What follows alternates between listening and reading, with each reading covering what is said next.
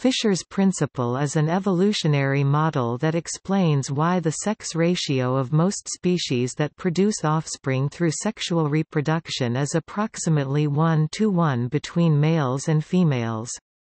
A. W. F. Edwards has remarked that it is probably the most celebrated argument in evolutionary biology Fisher's principle was famously outlined by Ronald Fisher in his 1930 book The Genetical Theory of Natural Selection, but has been incorrectly attributed to Fisher as original. Specifically, Fisher couched his argument in terms of parental expenditure, and predicted that parental expenditure on both sexes should be equal. Sex ratios that are 1 to 1 are hence known as Fisherian and those that are not one-to-one are non-Fisherian or extraordinary and occur because they break the assumptions made in Fisher's model.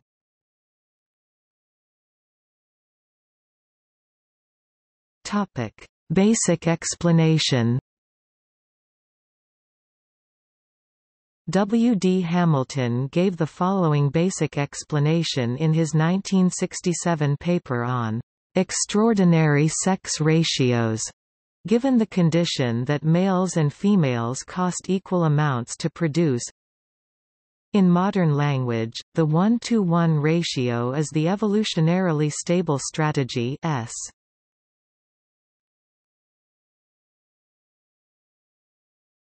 Topic: Parental expenditure.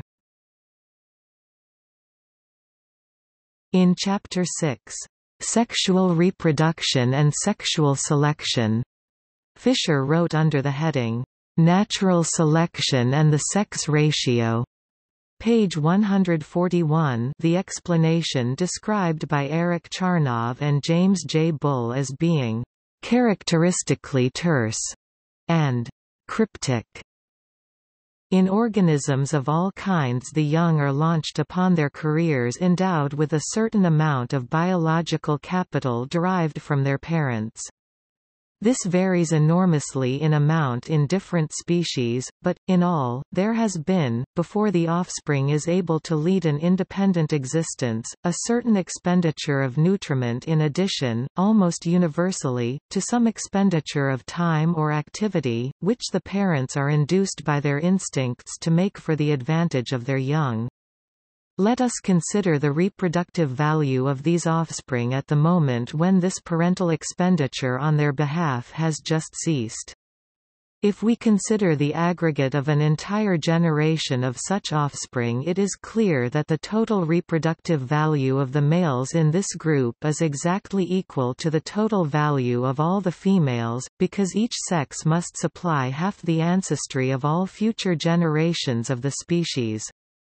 From this it follows that the sex ratio will so adjust itself, under the influence of natural selection, that the total parental expenditure incurred in respect of children of each sex, shall be equal, for if this were not so and the total expenditure incurred in producing males, for instance, were less than the total expenditure incurred in producing females, then since the total reproductive value of the males is equal to that of the females, it would follow follow that those parents, the innate tendencies of which caused them to produce males in excess, would, for the same expenditure, produce a greater amount of reproductive value, and in consequence would be the progenitors of a larger fraction of future generations than would parents having a congenital bias towards the production of females.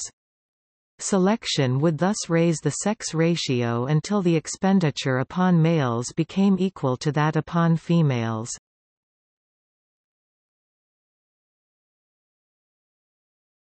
Topic: Development of the argument.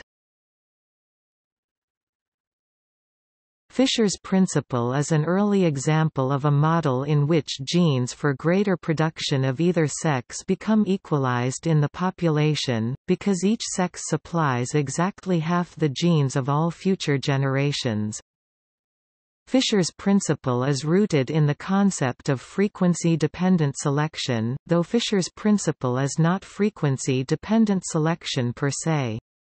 Frequency-dependent selection, in this scenario, is the logic that the probability of an individual being able to breed is dependent on the frequency of the opposite sex in relation to its own sex. It was first described by Darwin in 1871. Fisher's principle extends frequency dependence to explain how natural selection can act on genes that affect the frequency of an individual's grandchildren without affecting the frequency of their children. Fisher predicted that parents will invest their resources equally between each sex of offspring, because each sex supplies exactly half the genes of all future generations. As a result, those genes that cause parents to invest unequally in the sexes will tend to be selected against. Fisher was aware that in humans, more boys are born, whilst boys are also more likely to die in infancy. As a consequence, he reasoned that because parents tend to invest less in boys, because more boys die before the end of the period of parental care, there is a higher rate of male births to equalize parental investment in each sex. Fisher's principle is also the precursor to evolutionary game theory.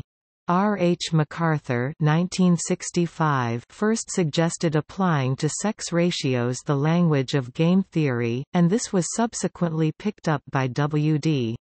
Hamilton 1967 who termed the equilibrium point the unbeatable strategy. Hamilton's unbeatable strategy was refined by John Maynard Smith and George R. Price 1973 into their concept of the evolutionarily stable strategy, i.e. one which cannot be invaded by a mutant strategy. Fisher's concept of parental expenditure now termed parental investment, developed particularly by Robert Trivers is now an important concept in ecology.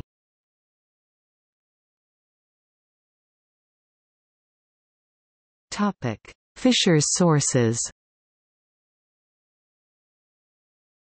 Historical research by A.W.F.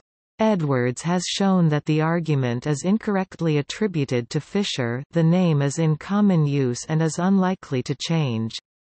Charles Darwin had originally formulated a similar but somewhat confused argument in the first edition of The Descent of Man but withdrew it for the second edition. Fisher only had a copy of the latter, and quotes Darwin in The Genetical Theory of Natural Selection. Specifically, Carl Düsing of the University of Jena published this in three works between 1883–84, and this is essentially identical to Shaw and Mohler's later model.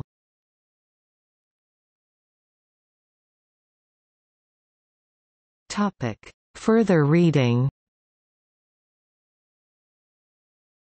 As probably the most celebrated argument in evolutionary biology. Fisher's principle is a staple of popular science books on evolution. For example, see Stephen Jay Gould 2002, The Structure of Evolutionary Theory. Pages 648 to 649, 678, and 692 on sex ratio. Richard Dawkins 2004. The Seal's Tale. The Ancestor's Tale, A Pilgrimage to the Dawn of Life. Boston, Houghton Mifflin Company. ISBN 0-618-00583-8 For those wishing more advanced treatment, see the 2002 book Sex Ratios, Concepts and Research Methods edited by Ian C. W. Hardy, Chapters 1 and 2 by Ido Pen and Franz J. Weissing.